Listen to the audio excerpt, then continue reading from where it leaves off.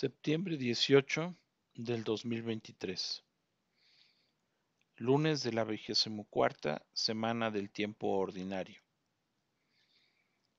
Lectura de la primera carta del apóstol San Pablo a Timoteo.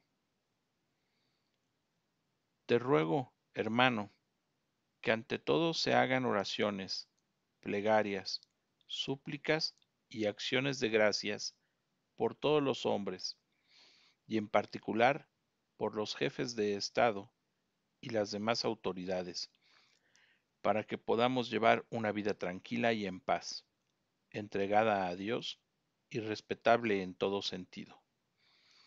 Esto es bueno y agradable a Dios, nuestro Salvador, pues Él quiere que todos los hombres se salven y todos lleguen al conocimiento de la verdad. Porque no hay sino un solo Dios, y un solo mediador entre Dios y los hombres, Cristo Jesús, hombre él también que se entregó como rescate por todos. Él dio testimonio de esto a su debido tiempo, y de esto yo he sido constituido. Digo la verdad y no miento, pregonero y apóstol, para enseñar la fe y la verdad. Quiero, pues, que los hombres, libres de odios y divisiones, hagan oración donde quiera que se encuentren, levantando al cielo sus manos puras. Palabra de Dios, te alabamos, Señor. Lectura del Santo Evangelio según San Lucas. Gloria a ti, Señor. En aquel tiempo, cuando Jesús terminó de hablar a la gente, entró en Cafarnaum. Había allí un oficial romano que tenía enfermo y a punto de morir a un criado muy querido. Cuando le dijeron que Jesús estaba en la ciudad, le envió a algunos de los ancianos de los judíos para rogarle que viniera a curar a su criado. Ellos al acercarse a Jesús le rogaban encarecidamente diciendo, merece que le concedas ese favor, pues quiere a nuestro pueblo y hasta nos ha construido una sinagoga. Jesús se puso en marcha con ellos. Cuando ya estaba cerca de la casa, el oficial romano envió unos amigos a decirle, Señor, no te molestes, porque yo no soy digno de que tú entres en mi casa.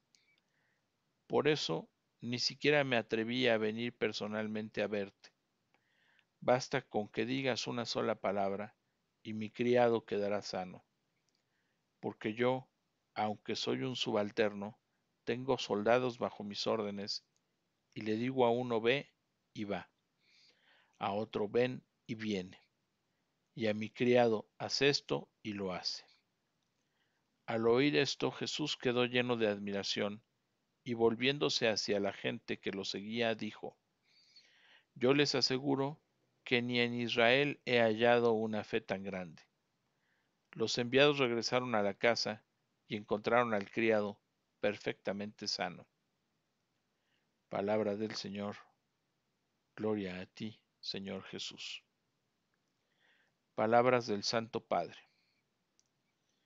El Evangelio de hoy nos habla de servicio, mostrándonos dos siervos, de los que podemos extraer varias valiosas lecciones. El siervo del centurión, que es sanado por Jesús, y el mismo centurión, al servicio del emperador. Las palabras que envía a Jesús para que no venga a su casa son sorprendentes y a menudo son lo contrario de nuestras oraciones. Señor, no te molestes. No soy digno de que entres bajo mi techo no me consideraba digno de venir a ti, porque yo también estoy en condición de subordinado. Ante estas palabras, Jesús permanece admirado.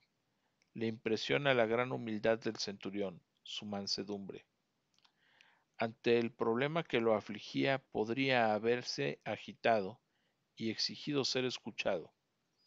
Afirmando su autoridad, podría haber convencido, incluso obligado a Jesús a ir a su casa. En cambio, se vuelve pequeño, discreto, manso, no levanta la voz y no quiere molestar. se comporta tal vez sin saberlo, según el estilo de Dios, que es manso y humilde de corazón. Dios de hecho, que es amor, por amor llega incluso a servirnos con nosotros, es paciente, benevolente, siempre dispuesto y bien dispuesto.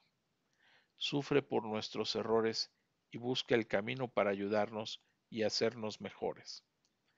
Estos son también los rasgos mansos y humildes del servicio cristiano, que consiste en imitar a Dios sirviendo a los demás, acogerlos con amor paciente, comprenderlos incansablemente, hacerlos sentir acogidos, en casa, en la comunidad eclesial, donde no es grande quien manda, sino quien sirve. Homilía Jubileo de los Diáconos, 29 de mayo del 2016.